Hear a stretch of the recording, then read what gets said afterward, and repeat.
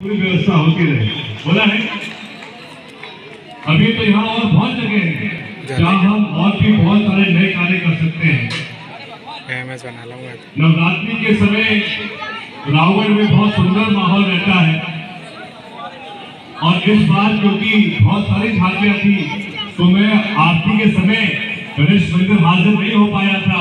तभी मैंने हमारे समिति के साथियों को वादा किया था कि आप बहुत जल्द दिवाली के पहले भंडारा कीजिए जिसमें मैं हाजिर रहूँगा और जो पूरी आपकी टीम है, मैं सबका दर्शन करूँगा। तो आज कुछ हमारे